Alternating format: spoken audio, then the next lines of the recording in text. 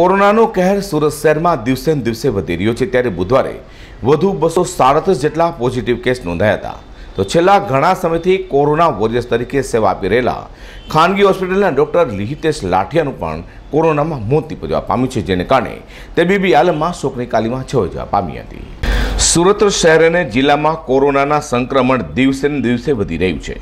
સુરત મહાનગરપાલિકા અને જિલ્લા તંત્ર દ્વારા જાહેર કરવામાં આવેલા આંકડા પ્રમાણે વધુ બસો સાડત્રીસ પોઝિટિવ કેસ સાથે કોરોના પોઝિટિવનો આંકડો ચૌદ હજાર નવસો બે થવા પામ્યો છે.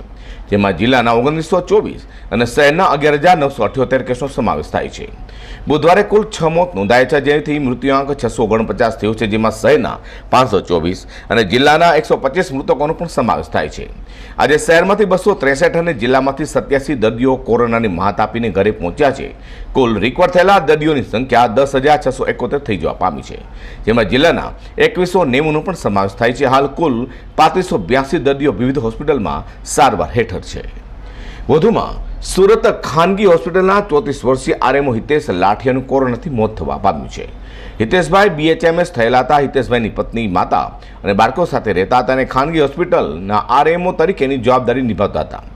દરમિયાન એક મહિનો કોરોના વોર્ડમાં કામ પણ કર્યું હતું. ત્યારબાદ તેમને લાઇટ ડ્યુટી અપાઈ હતી.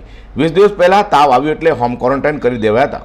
જોકે તાવ અને શ્વાસની તકલીફ વધી જતા વિનસ હોસ્પિટલમાં તેને દાખલ કરવામાં આવ્યા હતા. ચાર દિવસ વેન્ટિલેટર પર અને પાંચ દિવસ એડવાન્સ ઈસીએમનો મશીન પર રાખવામાં આવ્યા હતા. જોકે તબિયતમાં કોઈ સુધારો થયો નહીં. બુધવારે બ્રેન્ડેડ થઈ જવા પામ્યા હતા એટલે પરિવારની પરવાનગી લેવા વાતચીત ચાલી રહી હતી. દરમિયાન આજે સવારે છેલ્લા શ્વાસ લઈ મોતને ભેટ્યા હતા. વિનસ હોસ્પિટલના સ્ટાફ દ્વારા કોરોના વોરિયર્સ હિતેશભાઈને તિરંગામાં લપેટી ભાવભીની વિદાય પણ આપી છે. અઝર કુરેશી સાથે પ્રકાશ વાળાજી ટેન્સ ન્યૂઝ.